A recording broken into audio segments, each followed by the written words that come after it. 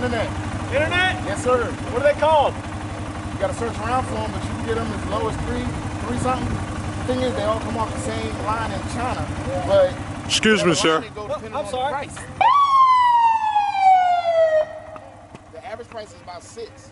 Okay. But if you order them over eBay, you can get them for about three fifty four. Cool.